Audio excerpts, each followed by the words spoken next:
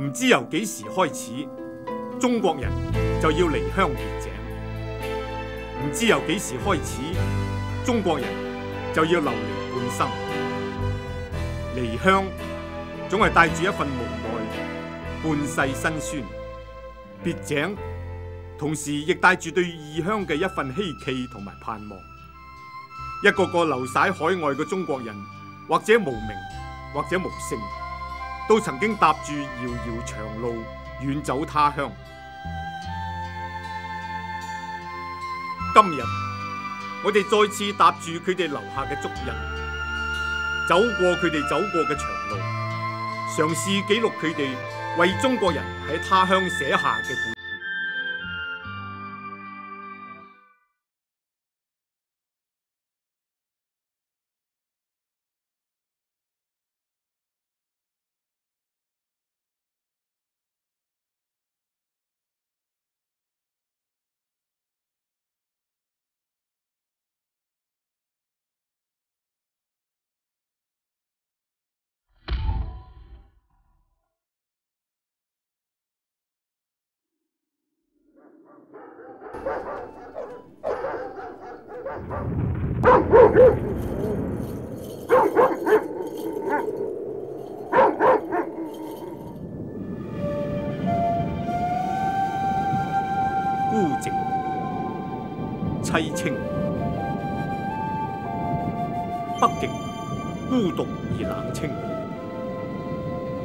北極嘅冷，令人類卻步。生存係掙扎，生命係脆弱。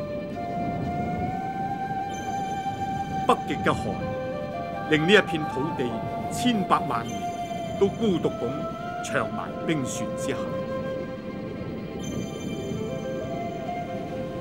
寒風颯颯，吹拂一片雪海，白無邊無際，冇開始，冇終結。北極嘅故事係一個孤獨嘅故事，中國人喺北極嘅故事又會係一個點樣嘅故事？北極面積遼闊，北極通常係以北極圈，亦即係北緯六十六度三十三為界。北極圈地區嘅總面積多達二千一百萬平方公里，其中大部分包括北冰洋嘅海域範圍，陸地就佔八百萬平方公里。當中俄羅斯、芬蘭、瑞典、挪威、格陵蘭以及加拿大同埋美國阿拉斯加嘅部分地區，都係喺北極圈嘅範圍之內。要喺中年冰封、極度嚴寒嘅北極生存，係一件艱苦嘅事。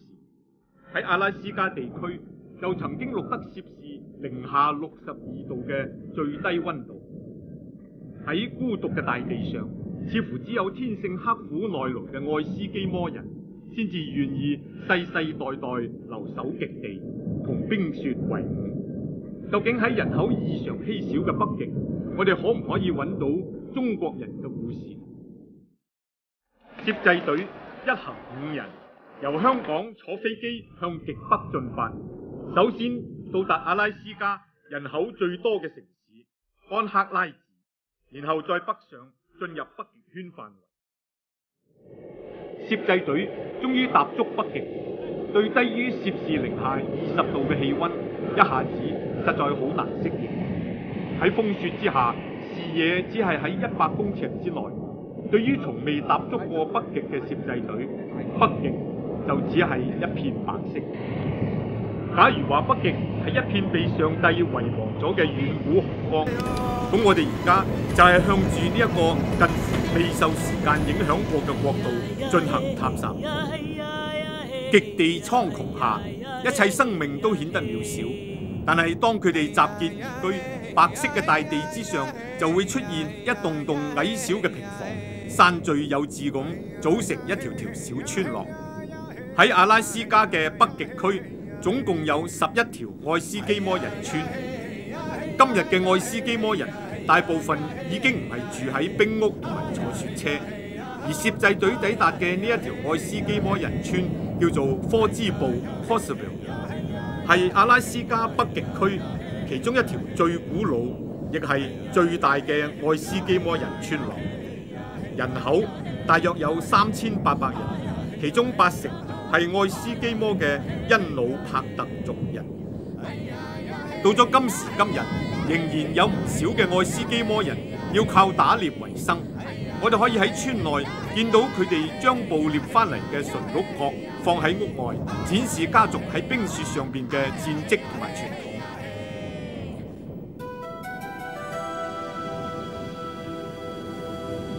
我哋喺凄冷嘅北極尋找中國人嘅故事，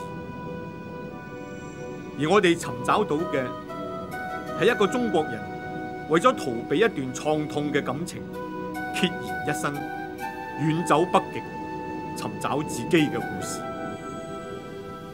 咁你到而家喺北極住咗幾多年？我九五年搬上嚟呢度住，點解會搬咗嚟北極呢度住咧？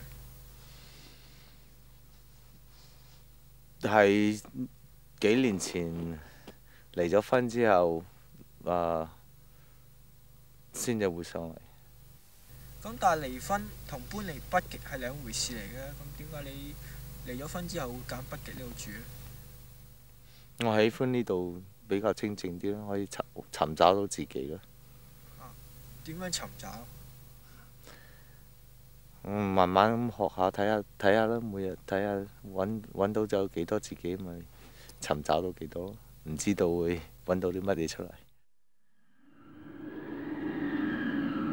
北極寒風刺骨，冰雪無情，但係都比唔上一段失敗嘅婚姻咁，令三十七歲嘅阿 John 李成恩內心感到冰冷刺痛。喺香港出生長大嘅李成恩，十四歲跟隨父母兄長去到美國定居。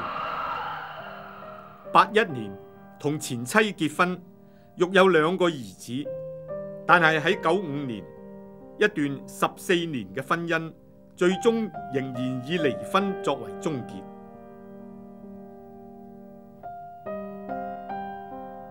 呢一次婚姻失敗，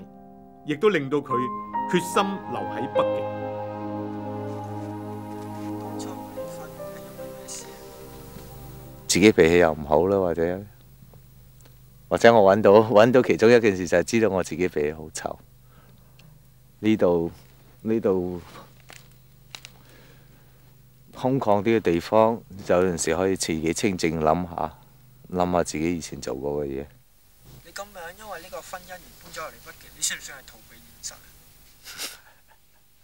可以係咁話啦。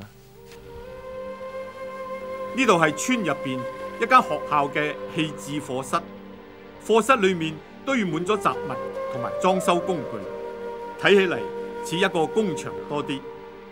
裏面仲有一個面積唔夠一百平方尺，只係容納到一張木床嘅房間。而呢度就係現時李成恩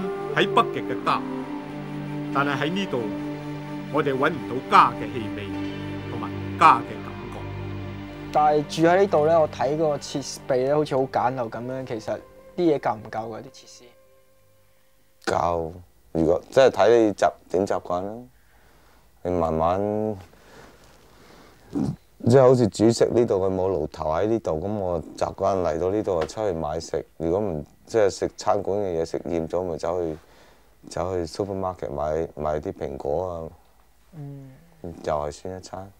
咁啲床鋪被單夠唔夠咧？因為我都係瞓睡袋，我翻每趟翻嚟我洗咗床單之後，我就自己瞓睡袋又係。嗯，一個人由大城市搬到嚟簡朴刻苦嘅愛斯基摩人村生活，無論走到幾遠，李成恩放唔低嘅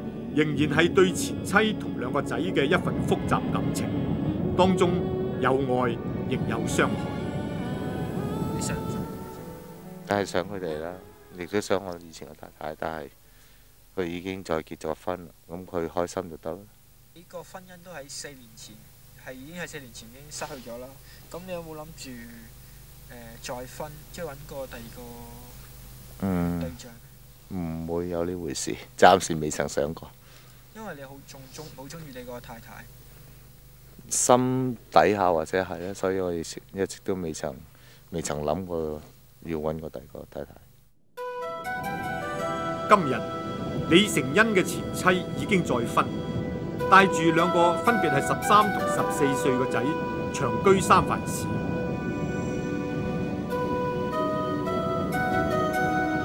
一個中國人喺北極生活咗四年，李成恩已經能夠完全融入愛斯基摩人式嘅單純生活。好多人都會聯想到愛斯基摩人啊。咁起初你最初接觸愛斯基摩人，你個感覺點樣？覺得佢哋嘅啊大部分都好單純，佢哋嘅生活啊方式啊，同埋佢哋對人啊都好好開朗對人，唔會唔會好似大城市嘅人嘅。佢第一件事就計算你可以可以喺你身上攞到乜嘢先。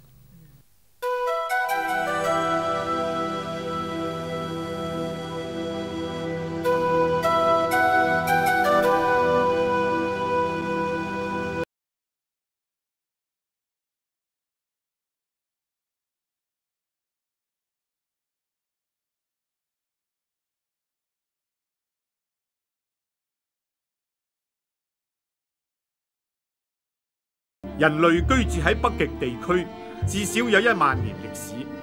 長居北極嘅愛斯基摩人係地球上生活條件最艱苦嘅種族，同時亦係世界上最樂天知命、與世無爭嘅民族。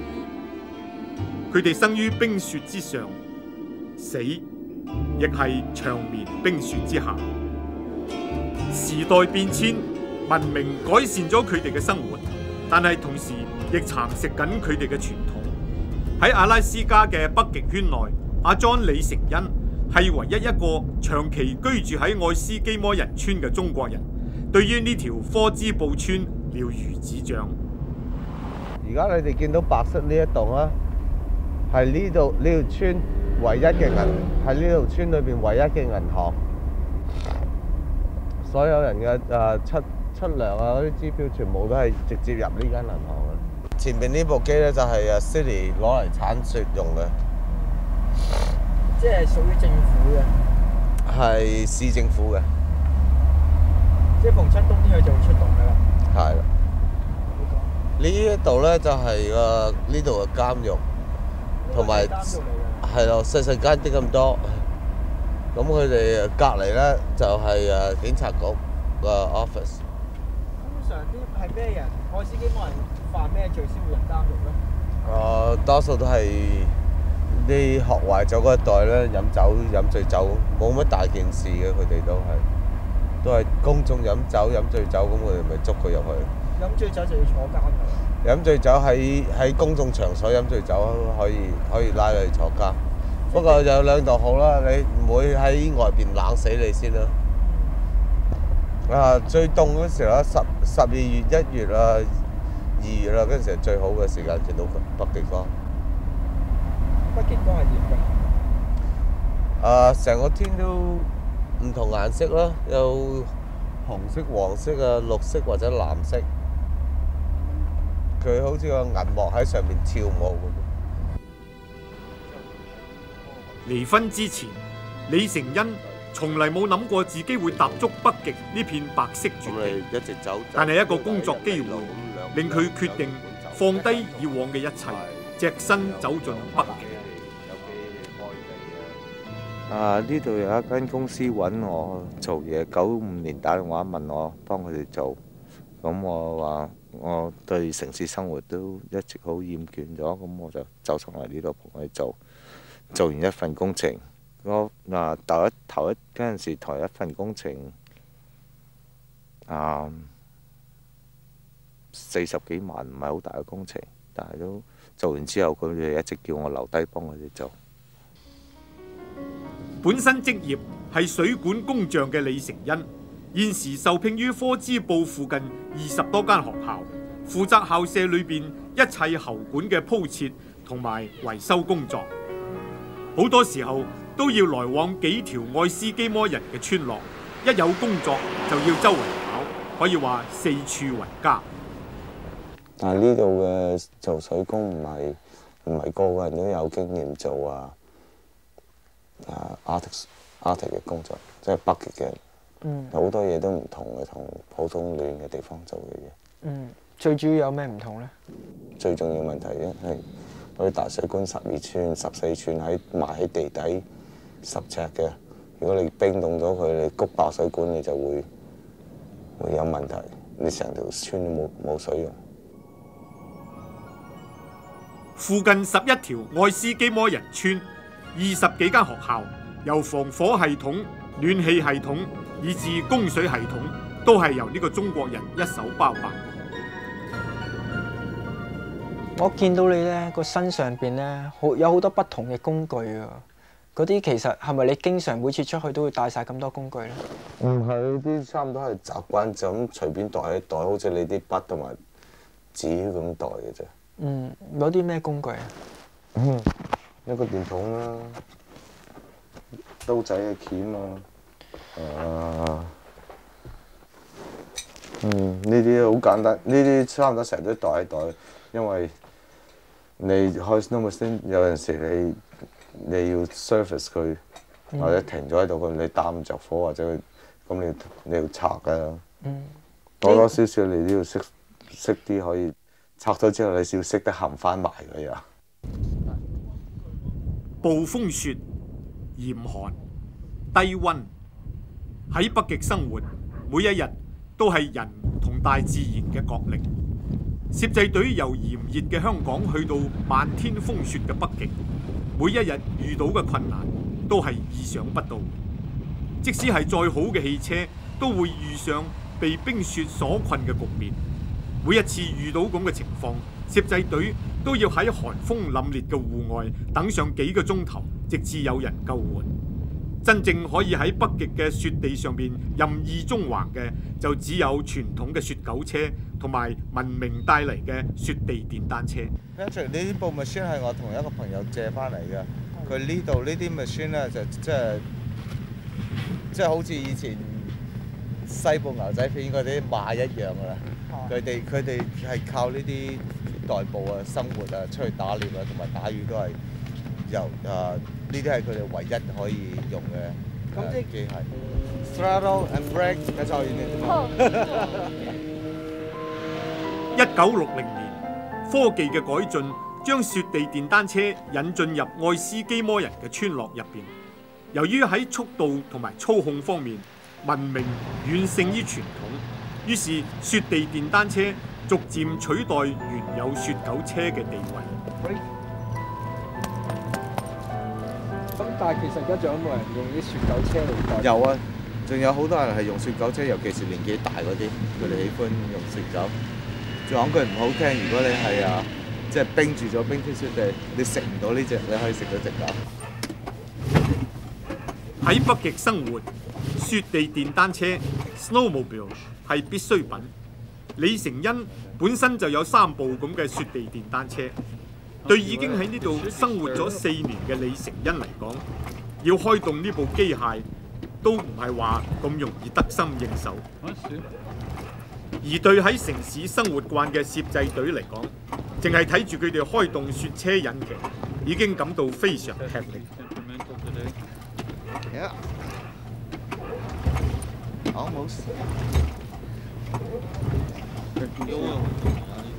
佢哋越辛苦拉动引擎，攝制隊就越感覺到呢次旅程嘅艰巨。因為喺未來嘅日子，呢啲雪車將會成為攝制隊喺雪地上邊嘅代步工具，亦即係代表攝制隊將會每日都要咁辛苦先至可以開動呢部機器。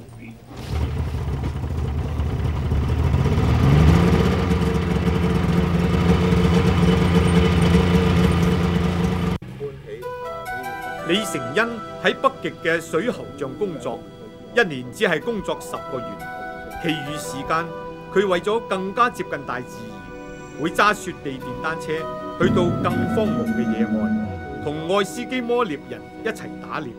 而佢亦係喺北極唯一一個持有獵人牌嘅香港人。我攞嘅係 subsistence fishing license，係即係靠靠食物落打獵去攞動物嘅食物。為咗要深入了解呢個中國人點樣喺蠻荒極地生活，攝製隊決定同李成恩一同向距離科茲布村六十里外嘅荒野進發。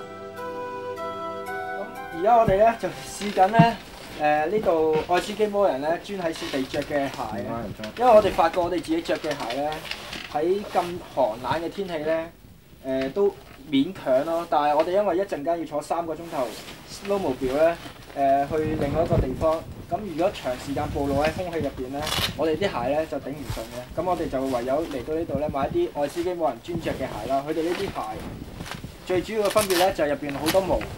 咁可以誒、將出邊嘅冷可以隔咗啦。由於極地危機四伏，而攝製隊又將會駕駛雪地電單車喺結咗冰嘅海上面飛馳接近三個鐘頭。於是李成恩出發前向攝制隊小心叮囑。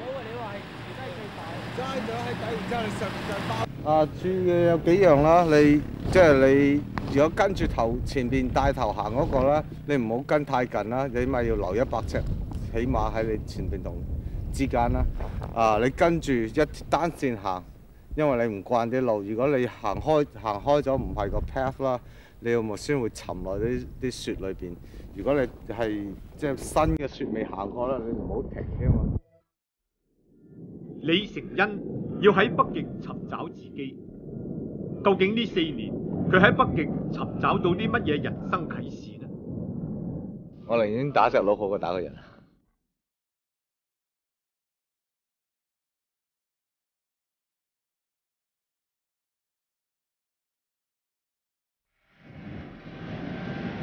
聽晚攝制隊會同李成恩深入北極更荒蕪地帶，喺山林雪嶺間捕獵馴鹿。有幾隻鹿咧喺度走緊上山，嗱上緊山係咪？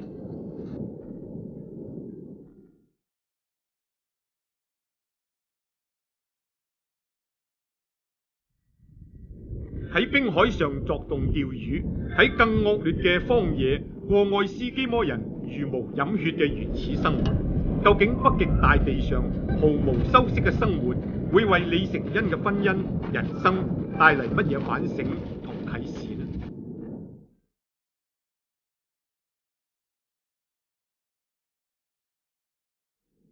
聽晚北極蒼穹下。